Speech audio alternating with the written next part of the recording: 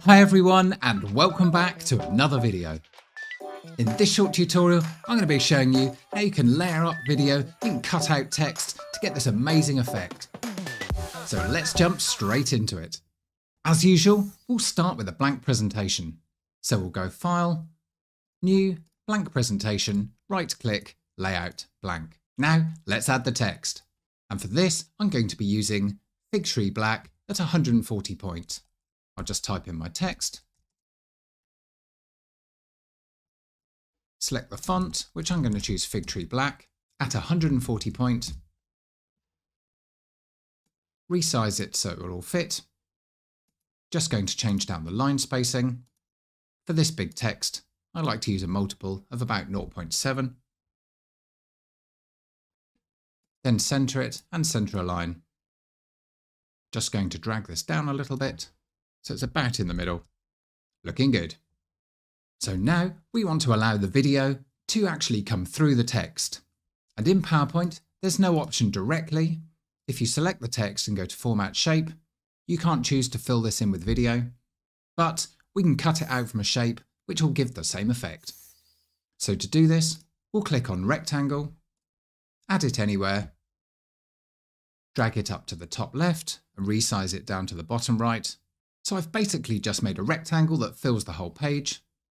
I'm going to make sure this has no outline, then right click and send to back. And the rectangle is already selected. It's important for this step that we make sure the rectangle is selected first, and then hold down shift and click the text so it's selected second. Then we go to shape format, merge shapes and choose subtract. And what that's done is it's actually removed the text from the shape so it's a cutout, so anything that's underneath will come through. In this case, it will be the multi-layered video that we're going to add now. So now we'll go to Insert, we'll go to Video and choose Stock Video. I'm going to type Abstract.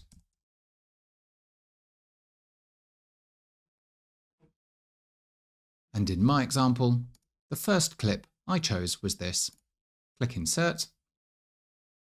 We'll drag this to the top left and resize it down to the bottom right. Then right click and choose send to back.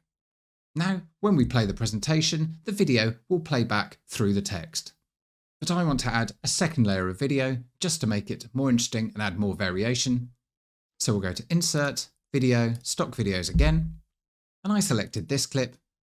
But try any combination of clips you want and see what effect you get and which one you like. We'll insert that. Again, I'll move this to the top left and resize it down so it takes up the whole screen. Now, we want to make sure that it's in the right order. There are a couple of ways of doing this, but first, let's add the effect that allows it to actually layer up on top of the other video. And in PowerPoint, this is technically called an animation. So we'll go to Animations, Add Animation. We want to choose this one here, Transparency. When we click on the animation pane, you can see that the transparency option is there. And by default, it sets it to 50% transparent, but if you ever want to change this, you can double click on it and choose the amount that you want in there. But the only thing I'm going to change for now on this is to make sure that it starts with previous, so everything happens at the same time.